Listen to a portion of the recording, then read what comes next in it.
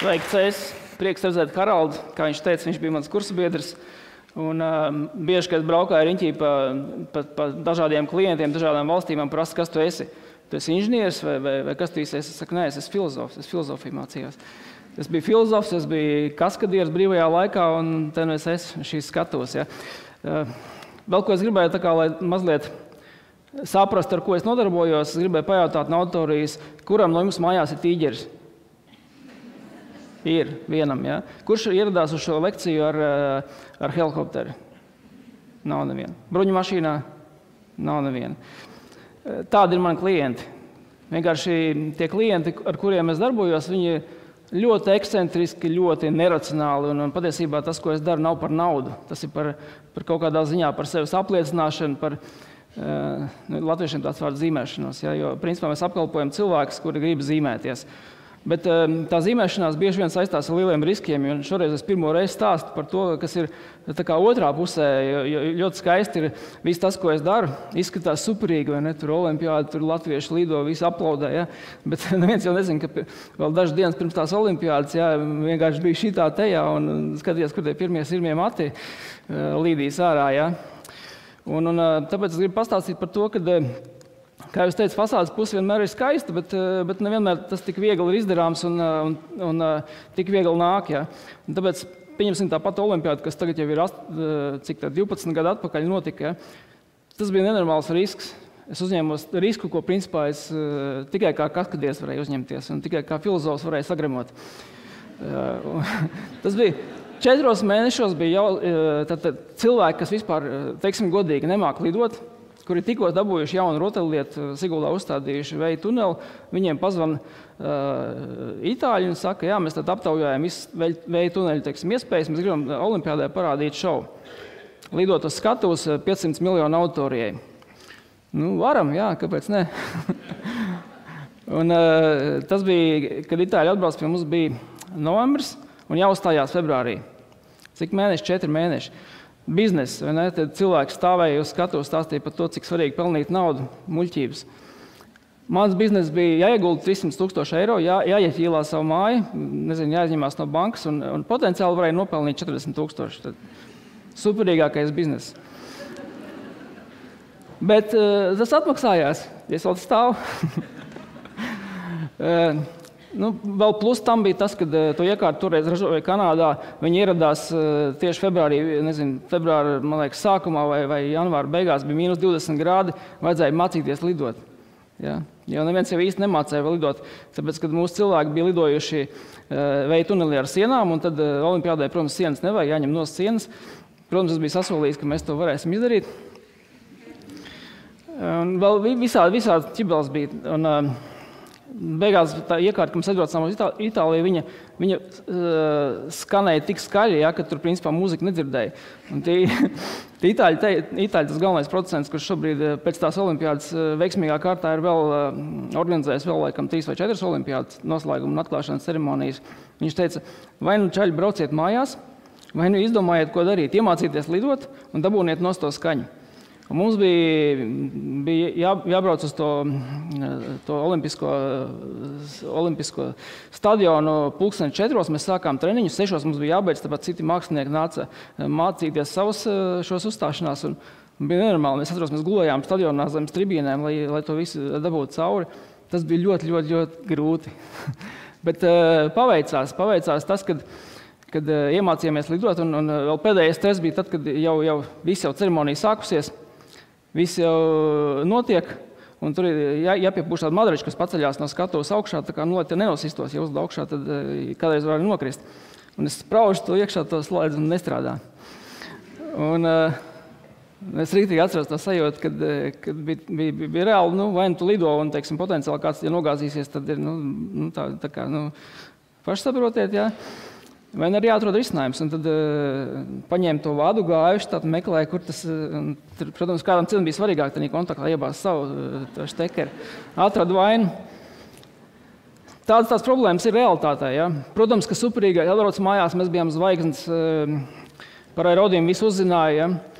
Pārsteidzošā kārtā pats man, pat mans bizness atmaksājās, jo pirmajā, pirmajā gadā tiešām visi gribēja par mums uh, uzzināt, un, un uh, mēs braucām uz vairākām valstīm uzstāties. Mēs pirmā gada laikā, 2006. gadā, jau apgrozījām 500 tūkstoši, kas jau bija wow, super. Jā, mēs tik lielu naudu nekad redzējis nebija. Uh, uzbūvējām vairākas iekārtas, teiksim, Es sapratu, kas īstenībā mani klienti. Man liekas, ka tie klienti būs šovu biznesa, bet, bet pirmais reālais klients bija Pakistānas armija. Kad man bija jābrauc, eh, es braucu bruņu mašīnā uz darbu. Un man teica, lai es uzvelku melnu lakatu, tāpēc, ka sniperi var, ja gaišu matu var nošaut. Un tā ir realitāte. Es vienkārši neesmu to daudz runājis. Bet... Nu jā, patiesībā mēs ļoti palīdzējām visai industrijai, jo tas, eh, tā bija pirmā reize, kad, ehm, kad cilvēki redzēja eh, šos lidojošos cilvēkus. Un, un ne tikai mēs sākām savu biznesu taisīt no nulles, bet arī citi, kas jau bija iekšā šajā biznesā, sāka vairāk pelnīt. Expo, superīgākais stāsts. Jā. Milzīga iespēja valsts uh, nāk un saka, Rodījumi, jūs esat maličs, pārstāviet mūsu ekspo. Es saku, jā, pārstāvēsim, nav problēmas.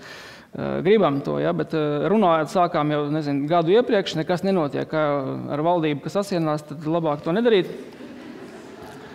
Visi grib savu politisko kapitālu, daudzi grib kaut kādus tur, procentiņus, ja, bet patiesībā palīdzība ļoti minimāla bija. Ja.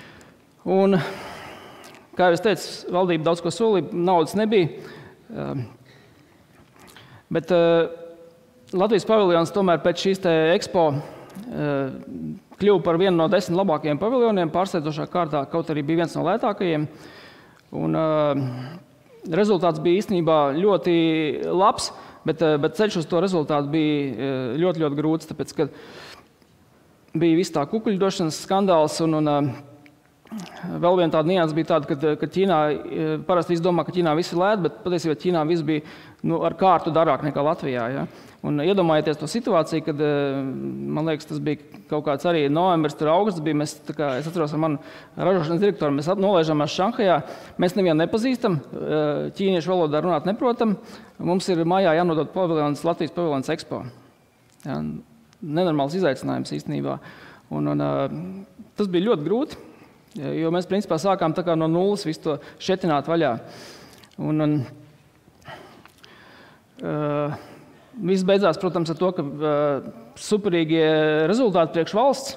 Valsts uzzināja, ka Latvija tāda ir. Uh, vēl par ekspo paviljonu vēl joprojām šodien pat runā daudz cilvēki. Bet man personīgi tas beidzās to, ka tika ierosināts četras krimināla lietas par mani, kuras vēl, vēl pagājušajā nedēļā pēdējo vinējām atskaitīja Lijā man naudu atpakaļ kontā. Tā kā, nu, tas nav viegli.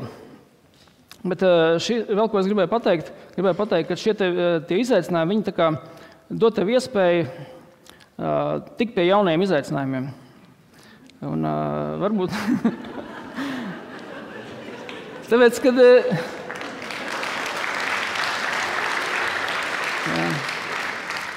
Tāpēc, ka tie, tie, tie jocīgie cilvēki, viņi, viņi, kā, viņi, viņi tiecās pie citiem jocīgiem cilvēkiem. Ja? Un, uh, es satiku ekspo Džekiju Čānu, tur atnāca cilvēki no Disneja. Un, un šie bija tādi konkrēti reāli sasniegumi. Tāpēc, ka Latvijā atbrauc Džekijs Čāns, viņš Latvijā dzīvoja veselu mēnesi. Viņš ļoti, ļoti mēģināja pierunāt, lai mēs kaut kur citur taisām, jo viņam likās, ka Latvija kas tas ir vispār. Ja? Bet viņš šeit dzīvoja, viņam iepatikās. Viņš bija ļoti pārsteigts par Latviju, ka viss te ir labi beidzot. Uh, Disney's Disneja cilvēki bija. Ziniet, ko es jums pateikšu? Man citreiz patīk mans darbs, tāpēc, ka es varu laust priekšstatu par Latviju un uh, par latviešiem. Jo cilvēkiem ir uh, ļoti liela aizsprieduma, par to, ka mēs esam nekurieni. Un nesen es redzēju vienā prezentācijā, ka um, uh, Ostapenko vinnēja šo Parīzes tenisa turnīru, un, uh, un New York Times laikam rakstīja, Girl from nowhere wins the cup. Tā cilvēki domā par Latviju. Un man patīk tas, kas var lauzt to visu.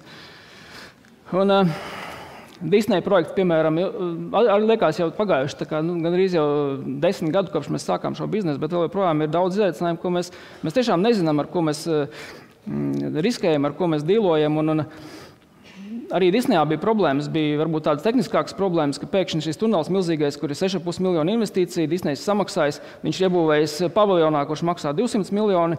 Un, un tas tunelis, tunelis sāk, tā kā jūs, jūs attaisat kādreiz logu vaļā mašīnai, viņš sāk fu, fu, fu, tā pulsēt, un viss tā zāle pulsē.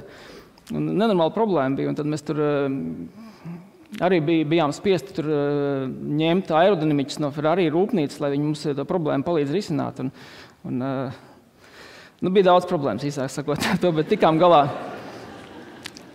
Uh, pēdējais sasniegums, pagaidām pēdējais, ja, ko jūs zinat, ir Toms Krūss. Nu, šis ir tas piemērs, kāpēc es prasīju, kāpēc, vai kāds jums lido uz darbu ar helikopteru. Viņš lido uz darbu ar helikopteru. Un, ļoti prasīgs cilvēks. Ja superīgākais sasniegums. Šobrīd tā ir lielākā, lielākais veids tunelis pasaulē, kāds jebkad ir uzbūvējis, ko jebkad pasaulē cilvēks ir izveidojis. Tas noteikti laika vēl, varbūt kaut kādu pusgadu būs lielākais, jo mums ir jauni projekti. Bet tajā brīdī bija, tā bija nezināma tehnoloģija atkal bija saspringti termiņi. Varbūt kāds redzēja to mūsu mazo filmu, kas bija internetā lejoja par to, ka uh, mums bija jāuzbūvē sešos mēnešos tas viss. Un, ja mēs to neizdarām, bija uh, nedaudz, ne maz, bet 20,000 eiro dienā bija soda nauda, kas būtu, būtu jāmaksā. Nu, tā kā baigi negribējās to maksāt, tad, tad uh, man nācās visus apmānīt. Es visiem darbiniekiem pateicu nepareizes termiņus. Divas nedēļas pirms, pirms nodošanas. Un, un tad kā, pa vidus nedēļu nokavēju, bet, bet pat cik tā nebija īstā nedēļa, tad, tad viss bija laikā. Jā. Ko es gribēju pateikt? Dažreiz tā, kad ir tās ekstrēmās situācijas, un, un, un es esmu sapratis, ka Kad eh, tādā situācijā es redzēju, ka cilvēks tiešām sadeg, un, un, eh, un tie, kas sadeg, patiesībā ir tie, kas eh, nerīkojās. Un, ja tu stāvēsi un neko nedarīsi, tad principā ar to tas beigsies. Un, un, pirmā atziņa, kas man ir no šiem daudziem gadiem, kopš es darbojos savā biznesā, ir tas, ka nekad nevar apstāties un nevar kā, ļaut lietām notikt pašām pa sevi. Es tiešām esmu tas cilvēks, kas pārlasa līgumus, es esmu cilvēks, kas pārbauda pat nezinu, seju uz testiem rūpnīcās, pastos, ko viņi tur ir izdarījuši. Ja? Jo, Man, man ir tāda, man, es, citu, es biju tas, kas gumijlekšanu Latvijā uzsāka. Un, ja es, um, kāds no jums ir lecis gumiju, droši vien kāds ir, nu, varbūt, ja, tad eh, pirmos piecus gadus es pats katru piesprādzēju, jo es neusticējos nevienam. Ja, un, nu, tāds ir diemžēl es, ja, ka man vajag tomēr to kontroli, un, un, uh, un arī šajās ekstremālās situācijās ir uh, jākontrolē situācija. Bet uh, aerodīmu, kā jūs zinat, nav pirmais, ko es darīju dzīvē. Es studēju kopā ar Haraldu, ja, un, un uh, vēl es kaut ko darīju. Un, eh, patiesībā, ko es gribētu pateikt, ir tas, ka eh, šīs īpašības tik galā ar, ar, situācijām, viņas, viņas nerodās tad, kad jau cilvēki uzzina par to, bet viņas radās pirms tam jau īstenībā agrā bērnībā. Manā gadījumā, es biju maza auguma, man bija jācīnās par savu vietu, uh, nezinu, tur jārada imidžs, kas ir stiprāks nekā es esmu. Ja? Vai, vai kaut kādā veidā tas bija jau bērnībā, jo, ja, ja tu padosies, tev pazemos, kamēr tevi nu, iznīcinās gan morāli, gan, gan fiziski, var uh, kaut ko notikt. Tad es kāpu kalnos, un kalnos ir tāda, tāds likums, ja tu uzkāpsi kalnos, kur sniegs, un ja tu pēkšņi apsēdīsies un pasēdēs, tad visdrīzāk tu nepiecelsies. Ja? Tas tāds mazas lietas, kuras, uh, kuras jāatcerās. Kas, kad iet rīki, piemēram, tu nevari sākt lekt un apstāties vidū. Ja? Filmās var, bet īstenībā nevar. Tev jāizdara līdz galam. Un, uh, Un to nevar ignorēt. Tas, tas, tās mazās lietas viņas tevi norūda un liek saprast par lietu būtību. Vēl kas svar, svarīgi ir nu, nu, riski visur. Ja? Patiesībā viss, kas šeit zālē atrodas, mēs nomirsim. Ja? Un agrāk vai vēlāk tas notiks. Un, un, principā, nu, apzināti laikam baidīties no tiem, ka nu, nu, kaut kas šodien nenotiek. Tas ir muļķīgi, tāpēc tā nav jēga dzīvot. Un šīs nestandarta situācijās, kurās es esmu bijis, par kurām es iepriekš runāju, man liekas, ka es esmu priekš sevīm tādas eh, atziņas eh, izveidojis. Ja, kad, kad patiesībā agrāk, man, kad es sāku to biznesu, man liekas, kā, ka man vajag būt svarīgākam nekā es esmu. Patiesībā tā nav. Īstenībā visi cilvēki, arī, arī Toms Krusts ir cilvēks, arī Džekijs Čants cilvēks, arī Kadafī bija cilvēks, kad viņš vēl mums pasūtīja tuneli. Ja. Visi saprot, jā, visi saprot situācijas, un, un ja jūs dīlojat ar kaut ko jaunu, jā, nav tā, ka kāds tur saka, vai nu izdarīs, vai, vai, vai tu esi tur kaut kas tur. Jā. Ja jūs būsiet godīgi pret savu klientu, viņš sapratīs, un uh, ir svarīgi arī brīdināt par tām lietām, kad, kad var kaut kas noiet greizi, jā, un, un brī, es bieži atkārtoju, jā, šis ir jauns projekts, šo nekad neesam darījuši, un, un varbūt uh, problēmas, un paredzēt šos riskus. Jā. Uh, iedziļināties, būt detalizētam problēmu risināšanām. Jā un nepārsolīt. Un, un tad, tad jau ir tā, ka, eh, tad, kad tos riskus apzinās, principā apzināti riski ir plāns. Ja? Un es vēl vienu piemēru jums pateikšu, tad, kad es strādāju priekš Disneja. Mums bija divas nedēļas, eh, tas saucās Hazard Analyzijas. Ja? Divas nedēļas mēs runājām tikai par to, kā var nosisties tunelī. Nopietni. Un, eh, beigās iznāca ārā kaut kādi, man liekas, 40 tādi tīrie punkti, ko darot tā, var, var teiksim, nosisties. Ja?